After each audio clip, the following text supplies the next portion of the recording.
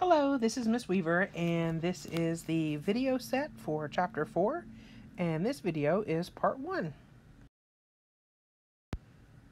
Alright, so this video is actually going to contain information for both sections 4.1 and 4.2.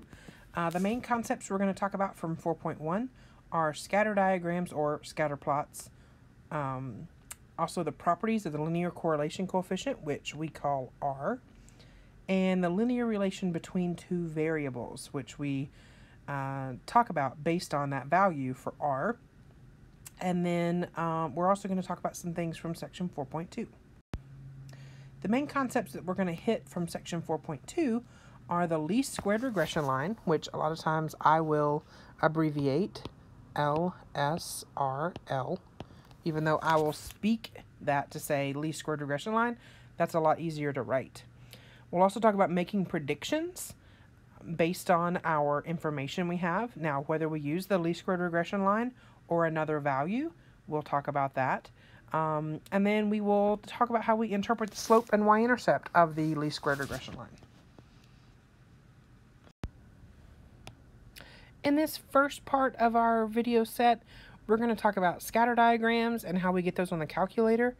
Uh, to do that, what we want to do um, is to go to second y equals and select plot 1. Or if you're doing multiple of these and you want to use a different plot, then you're welcome to. Make sure you turn the plot on. Otherwise, you can make all these changes in the window and it's when you hit graph, it's just going to be a blank screen. So make sure you turn your plot on. And then the plot type is actually the very first option. That's our scatter diagram, and that's what we're going to use uh, for this chapter. Your X list and your Y list, well, when we've talked about these um, in the uh, video, or the uh, interactive assignment, your X list is going to be your um, independent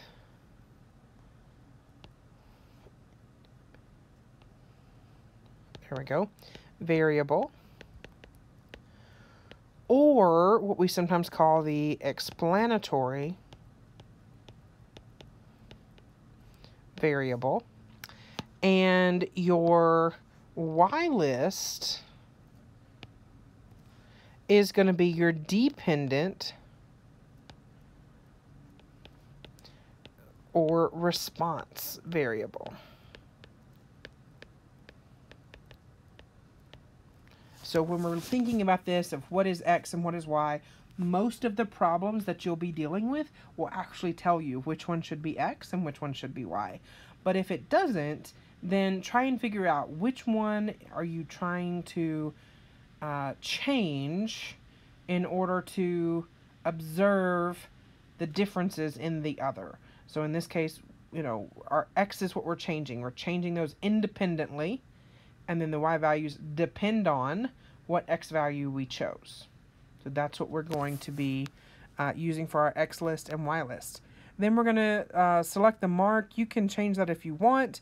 Um, I like the square just because it's the biggest uh, as far as visually speaking.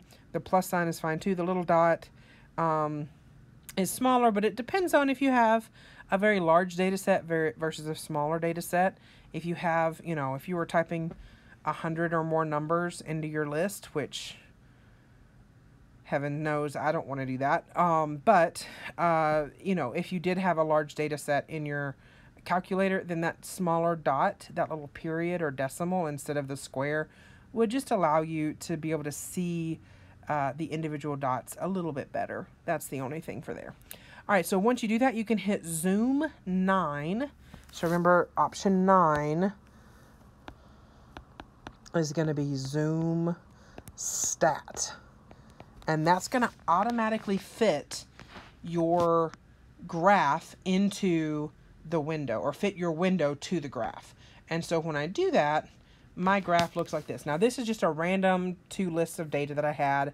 Um, I don't even know what the first set of numbers were. I already had some numbers in L1. I just threw in some numbers into L2. So this is literally just completely made up data uh, or numbers, not even data that I've put in, and then this is what it looks like. So each X um, is paired with a y, and that gives us a point on the coordinate plane. So there is our scatter diagram on the TI-84. So let's start an example, and we're actually going to use this same example through all the videos uh, for this chapter. So um, the following data, which is on the, the next slide, which I'll show you in just a moment, uh, are based on a study for drilling rock. Researchers wanted to determine whether the, the time it takes to dry drill a distance of 5 feet in rock increases with the depth at which the drilling begins. So we're going to be given uh, this starting depth. So did they start um, at ground level, 10 feet down, 20 feet down, 100 feet down? We've got those values.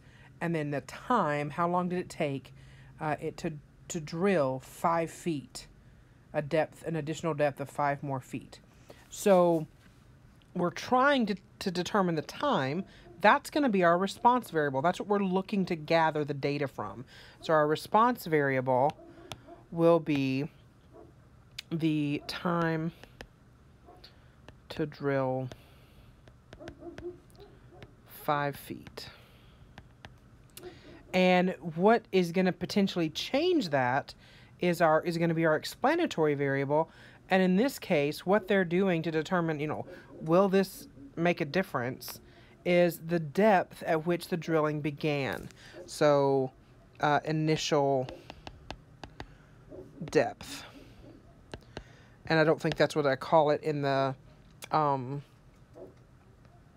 in the table on the next page. I think it's just uh, depth that drilling began or something like that. But that starting depth, that's going to be our explanatory variable. Uh, yes, so the depth drilling begins in feet, starting at 35 feet, going all the way to 190 feet. Uh, that's our independent variable or our explanatory variable. We're going to use that and change that variable in order to see what happens to the time it takes to drill five feet, an additional five feet.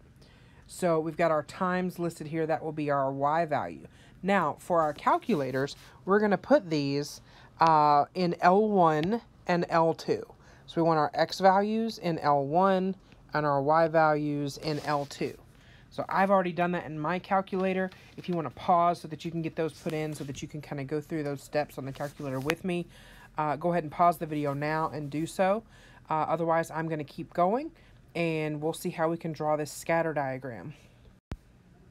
All right, so again, same example. I've just got that uh, written out again, but we're going to draw a scatter diagram of the data, and we're going to do this on our calculators. Now, yes, you should be able to plot these points yourself on a graph, uh, but for the sake of one, um, we nobody really does these things by hand anymore because we have technology, and two, especially with large numbers like this, getting everything to scale and getting everything to, to fit is just uh, tedious. So whether you're using Microsoft Excel, StatCrunch, your TI-84 calculator, or some other form of technology to create a scatter diagram, that's what we're going to try to focus on.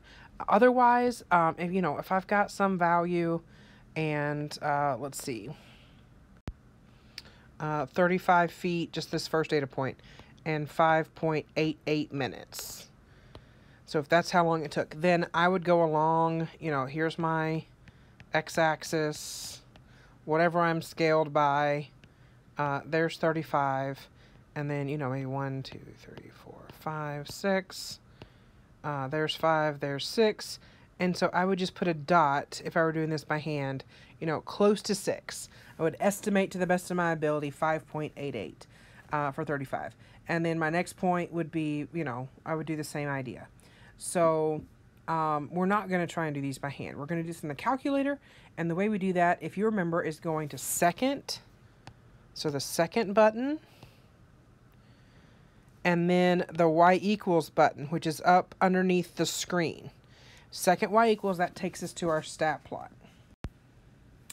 All right, so once you get to that second y equals and you select enter to select plot one, uh, again, don't forget to turn your plot on if it's not already. And then you want to make sure you use this first uh, graph. This first option is our scatter plot, so we don't have to uh, switch that around.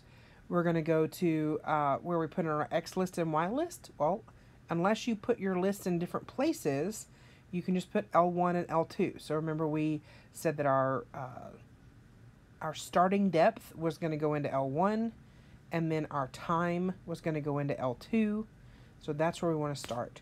Once we've done that and we've got all those things in place and we hit zoom 9, so zoom 9 takes us to our, our uh, picture of our graph itself. It, it fits our window perfectly to our graph. There is our uh, scatter diagram for this data set.